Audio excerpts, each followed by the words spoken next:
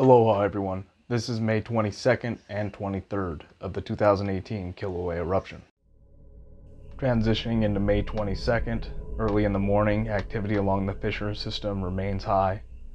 Most of the fissures are active off screen to the left of this PG cam shot, whereas fissure 6 there you can see active at this point. Now fissure 22 is the predominant fissure right now and it's feeding this channelized flow down to the ocean where it's making entry.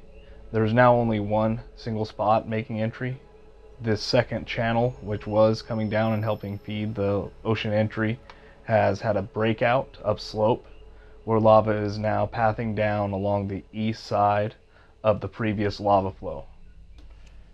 Back upslope at the eruption site, the fissure line is emitting a tremendous amount of SO2, sulfur dioxide, and this is true at both the inactive and the active vents. The amount of SO2 that has been emitted at this point is multiple times higher than the early stages of the eruption. We see how this one channelized flow is moving down towards the ocean, creating some very small littoral explosions, but otherwise is similar to the previous days. Here we catch a small glimpse of Pohoiki, also known as the Isaac Hale Beach Park.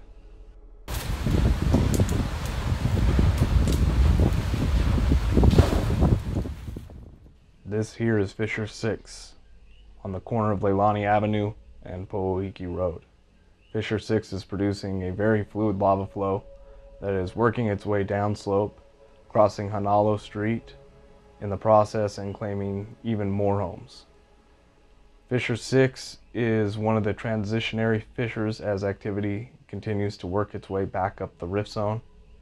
It has become more active on May 22nd. Moving over to Fissure 22, the eruptive vent remains very fluid, very active, with lava still encroaching upon the Puna geothermal venture. By this point, the power plant has been able to quench 11 of the 12 wells that are operational. And there is one troublesome well that they're having issues with. Lava is still encroaching upon the facility, but it's mostly overflow lava that is coming outside of the lava channel near the vent. Most of the lava is going down away from the power plant itself. You can see this bend in the lava channel that wraps around the fissures before falling downhill and these overflows from a slightly perched pond that has formed around the fissure itself. There's still a lot of lava in here, and a lot of this lava is hotter than the lava that we've seen so far. In this clip, the activity at Fissure 22 is slightly diminished from the previous, and with that, the level of the lava around the base of the fissures has decreased as well, exposing some of the levees and features of the lava channel that has been forming over the previous days. Now this is what I call the Mordor clip. This video right here was some of the most mind-blowing video that I saw out of the eruption. And it's really, in terms of videography, nothing special. The exposure's bad. The camera work looks like it was taken out of Cloverfield with all that shakiness. But just look how much lava there is it really is a crazy amount of lava out there. And during the day, you can't really see it that well. Even with the best camera work, the differences between the hardened lava and the still hot molten stuff is pretty minuscule. You can tell the difference between the shades of gray, but at night it's just so much easier to see how much of this lava flow is still hot, is still molten. In this thermal map from USGS on May 22nd, we can see the breakout that has happened on the lava channel just upslope from the ocean entry, as well as the new flow front, which is coming down along the east side of the previous lava flows from Fissure 6. We begin May 23rd down at the ocean entry at Malama Flats. The ocean entry hasn't changed significantly over the past day still being fed primarily by one channelized flow coming down from Fissure 22. Ocean entry is rather volatile, but at this point it's stable. The winds have also been rather consistent down at the ocean entry, pushing the laze plume to the southwest. Looking back upslope, we can see this puff of smoke coming from the previous day's breakout. This is burning more foliage as it slowly tries to make its way back down to the ocean. Now, one of the things I'm reminded of here is how much the coloration of the smoke mattered in 2018. So here we see this very white plume coming from the ocean entry.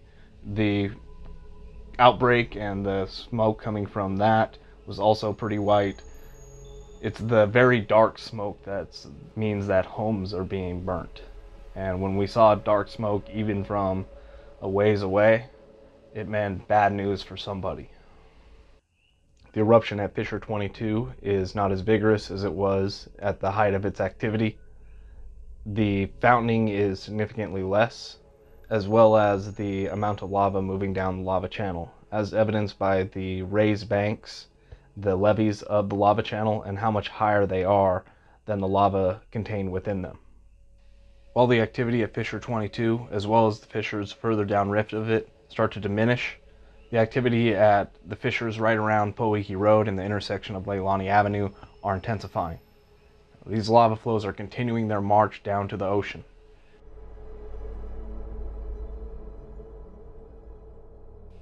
This video clip starts over the Puna Geothermal Venture and we are flying back up the rift zone. We're looking at Fissure 22, moving into Fissure 6, and then into Lower Leilani Estates and the earliest fissures of the eruption. Now, most of Leilani Estates is still intact. Streets like Kaupili, where my parents had their property and their home, was entirely consumed, yet most of the other homes on that street remain intact. The gas emissions have radically discolored the vegetation. On the north side, which is the bottom of the video, we're still green and on the south side, on the top, it's brown. And this is due to the predominant wind patterns, pushing the sulfur dioxide to the south. What do you think is going on, Phil? Oh, I just came out here for the first time in a while, and I first thing I noticed is this huge perch pond up there. You see this made a big rim, like a big, like a giant raised swimming pool, all full of lava. It's all moving down and towards the ocean, right through the gap over there. But if you look farther left, there's another one, another pond that's kind of perched down there below. So it looks like there's a, at least a series of a couple of them. So right here in the row, we see five fissures that is pretty much pumping lava right now. So this is the main one, one of the main ones here. As night falls on May 23rd, we hear of another perch pond forming at Fissure 6. Now this perch pond is roughly 11 meters or 36 feet deep and is contains a significant amount of lava. Now, one of the concerns about these perch ponds is what happens when the levee breaks and lava surges out from the collection point. And this is a concern that will continue as lava transitions further up the rift zone, creating more perch ponds. That'll do it for May 22nd and May 23rd from the 2018 eruption. We saw as lava flows began coming down from Fissure 6, as well as a breakout from the lava channel that was making ocean entry. We also saw the continuation of the transition in phase two of the eruption of lava moving back up the rift zone. Thank you for joining me. Until the next one, aloha.